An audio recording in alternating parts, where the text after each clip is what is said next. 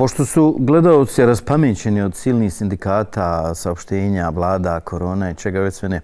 Dakle, danas je sindikat, e, imao, sindikat e, doktora medicine i stomatologije Federacije BiH, e, gdje ljudi pokušavaju da reprezentativnost sa 30% koliko treba obrane na 17%. Nažalost, mi smo govorili ljudima da idu od repa, a, ne od glavi, da su poslali apelaciju prema Ustavnom sudu, to bi davini danas završili jer je ustavno pravo svakoga u Federaciji Bosne i Hercegovine da ima pravo da glasa, da bira, da bude biran, da se predstavlja, reprezentuje i šta već sve ne. E, ljudi su krenuli malo e, drugačijim putem, težim putem, jer kad pravite zakon morate se u preambuli pozvati na starije zakone. To su dva.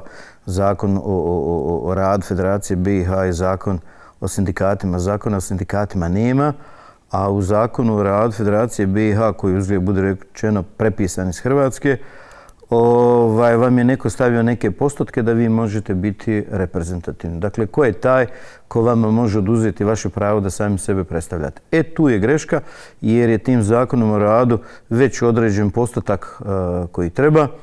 Doktori pokušavaju preko kolega doktora zastupnika u, federalnim parlamentima da to urade. Poslodavcima to ne odgovara jer gdje je puno sindikata, puno baba, bit će kilava djeca.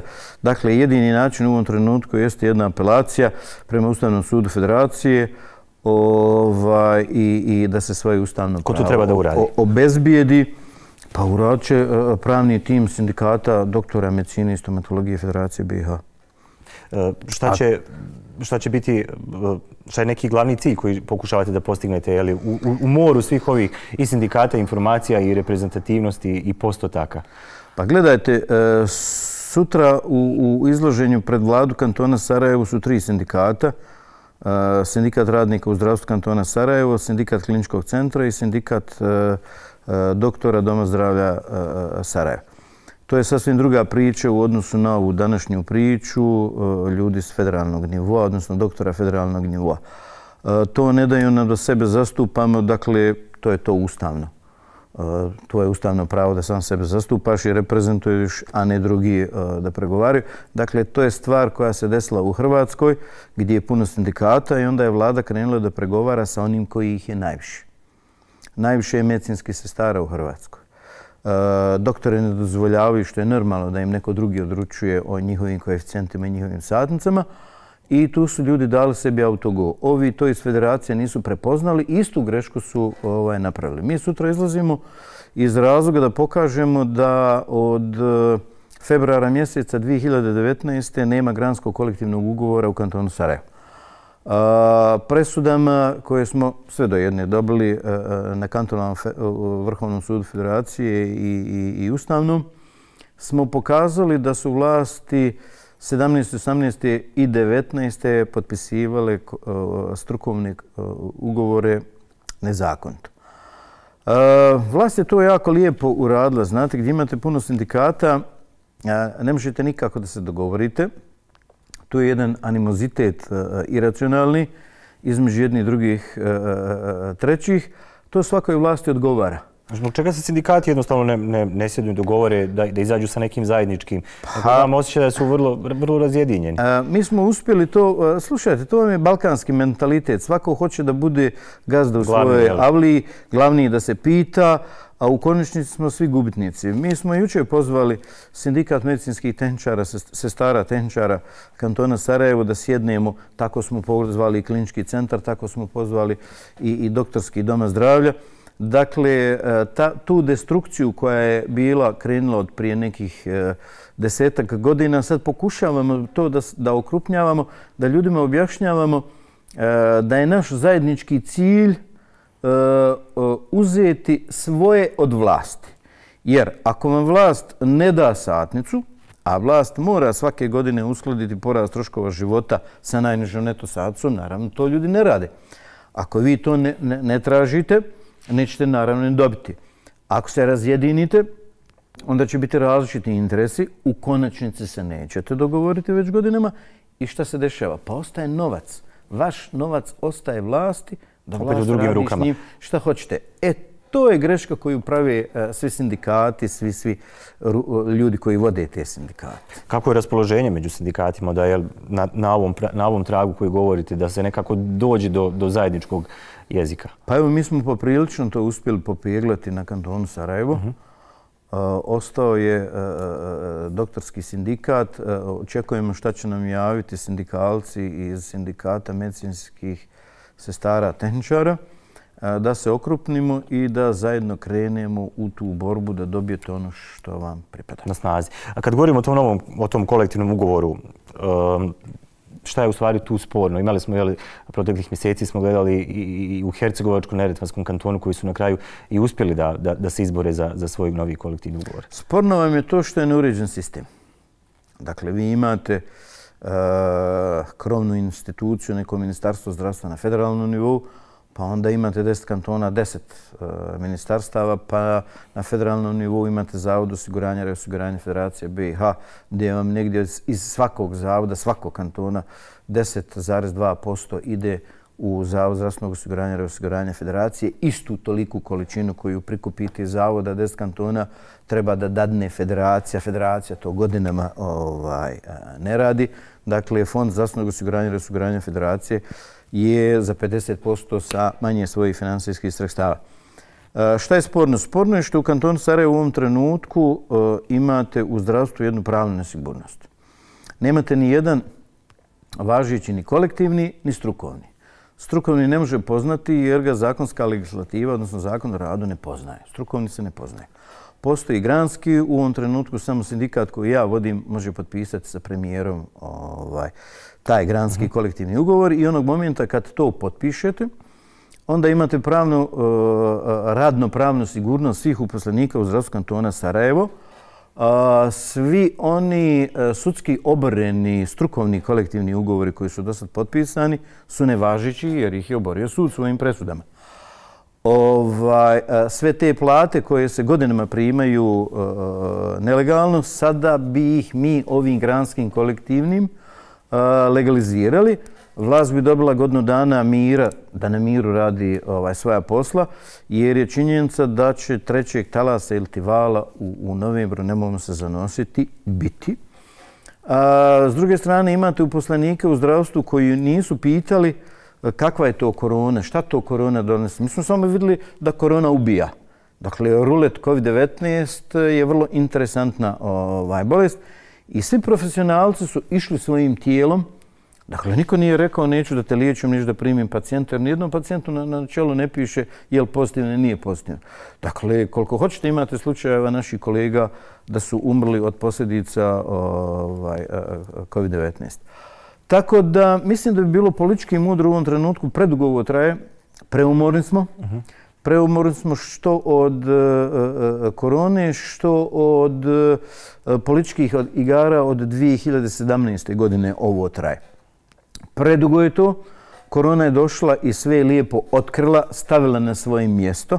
Dakle, ovo je možda posljednji trenutak da shvatimo u, u kom se mi trenutku ovaj, nalazimo i hitno pokušamo popravljati zdravstvo biti, i ovo potpisivanje. Šta će biti sljedeći potezi koji će, koji će sindikati uraditi?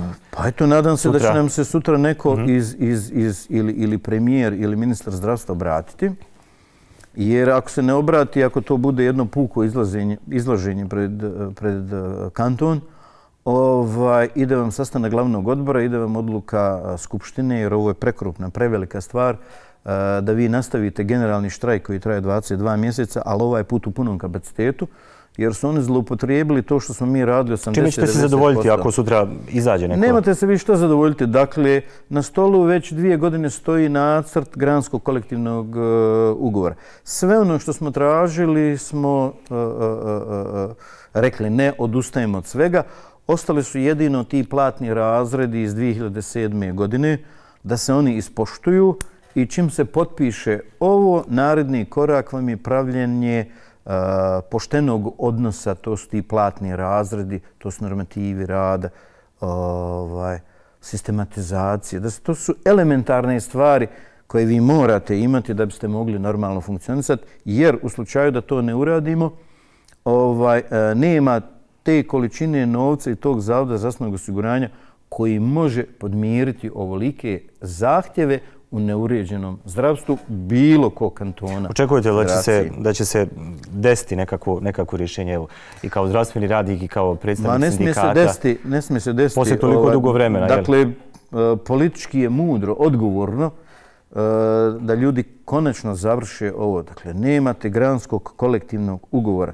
Nemate radno pravne sigurnosti za 8-8,5 hiljada uposlenika u zdravstvu kantona Sarajeva. Dakle, od 2019. Ovaj, a, a, a, to nema. Dakle, morate vi to donijeti. Nema drugog rješenja. A ići u generalni štrajk i, i nadam se da se to neće desiti. Vi kažnjavate 420.000 građana kantona Sarajevo, ljudi koji vas plaćaju, koji vam daju novac za plaću. To. A, doktore, ajde malo da se, da se dotaknemo, obzirom na to da ste jeli a, i, i, i pulmolog i, i vrlo ste upućeni ovo što se, što se dešava. Evo imamo svu sreću jeli, da ovi posljednjih nekoliko sedmica imamo i, i, jako mali u odnosu na prethodne mjesece mm. broj ljudi a, kada je u pitanju korona proces vakcinacije i, i čitava ova neka situacija u kojoj smo, koja je vrlo, vrlo u stvari bolja nego što je bila. Sad je pitanje Imamo šta, sreće ili šta je, šta je, šta vam šta je, uzrok? Vam je bolje? Bolje dakle, 40 nego 2000 novo zaraženih. Korona je u svom ciklusu. Da to, dakle, to nije zasluga ni medicine, ni svjetske zdravstvene organizacije, ni nikoga. Ona je u svom ciklusu. Ona se povukla. A, biće to sporadično kao što opet. imate gripice ovaj, ljetne. O, I evo nije ponovo kraj oktobar, novembar. Sve zavisi od intenziteta vakcinacije. Evo danas dakle, oni čini se 10.000 Pfizera. Da, ali to je premalo i to je neodgovorno. Uh, hoćete Pfizer, nećete Pfizer, hoćete Astro, hoćete Sputnika. Uh, dakle, s tim se ne smijemo igrati. Uh, vrlo brzo, šesti, sedmi, osmi mjesec mora 66% ljudi kantona Sarajevo biti vakcinisani. Imate li podatak koliko je do sad ljudi? Da li će to? Pa niste više uradili. Mislim da je 13 ili 14 hiljada samo revakcinisano. Vi čekate da vam neko dadne, imate neke izjave političara koje ne bi stvarno komentarisao, vezano za neke zecove kuniće, mislim. Neozbiljno je to u ovoj situaciji. Korona ubija. Ovo je klašni korona rulet. Vi jednostavno nemate, kada dođe gripa, vi znate kako će vas gripa i na koji će način, koja će simptomatologija biti. Ovdje nema toga. Dakle, ovdje nemate prostora ni vremena da se igrate. Idite, nabavljajte, idite u Kinu, idite u Rusiju, idite u Ameriku, idite gdje god hoćete. Ali nabavljajte, pustite priču, bio sam ovdje, bio sam ovdje, radio sam ovdje, ali ne bi vam nešto govorio da vas ne opterećujem. Rezultat jest jednako. 50.000 ovaj, uh, vakcinisanih u prvom ovaj, nizu. Dakle, to je malo premalo bez 550.000 doza a, a, vakcina a, ne možemo ništa dobro očekivati u kantonu Sarajevo i nemojmo razmišljati. Dakle, ja sam za staru tehnologiju i vakcinisan sam a, Sinovakom. Dakle, vi Sinovaka i, i Sinofarma možete nabaviti koliko hoćete. U jednoj smjeni će vam Kina napraviti za cijeli kanton Sarajevo. U jednoj smjeni. Država od, od, milijardu i, i, koliko je 500-600 hiljada miliona ljudi. Dakle, vi ćete to dobiti, ne možete dobiti, idete uh, Rusi, ne možete dobiti, idete AstraZeneca od koju od, od, odustaje Evropa. Pa idite, pa tražite, pa snalazite. Nemate prostora. Uh, ljudi koji nisu u tom poslu ovaj, ne razumiju. Ljudi koji su u kancelariji ne razumiju. Kad imate čovjeka koji je dobar srednjih godina, nikakvih bolesti, ništa, i njega za pet dana nestane. Dakle, klasični uh, uh, korona rulet. U takvim okolnostima nemate prostora da razmišljate jeste li kunić, niste li, hoćete li ovu vakcinu ili ćete ono. Morate je nabaviti. Znači, mišljenje da, da, da bi mogao se desiti jel, i taj četvrti, Nemojte četvrti talas. Nemojte da se neće desiti. Nemojte misliti da se neće desiti. E, evo jedno pitanje za razmišljanje autoritetima. A zašto ove godine nije bilo sezonske gripe? Jel se to možda virus influencije prepao covid pa ga nema? Pa se povukao ili je to... Kažu da je to zato što smo nosili maske. Uh, pa eto, nosili smo maske, pa je opet korona radila što je radila. Da. Doktore, hvala lijepo što ste nam uh, došli. Pratit ćemo i ovo sutra uh, sindikati i dešavanja, a bit će prilike da pričamo još ako, ako se ne, ne riješi, ne, u stvari neko ne nađe povoljno rješenje, a nadamo se da će se to desiti. Hvala vam na pozivu, pozdrav gledalcima i mislim da je, ponavljam, politički mudro bilo odgovorno, politički odgovorno prije svega, da ovo što prije završimo, ovaj, jer dosta, dosta više e, tapšanja po ramenu, heroji u bijelom, pa dakle zdravstveni i nezdravstveni. Konkretni potezi su potrebni, da. Ovaj, I to vam je to. Hvala lijepo. Hvala vama.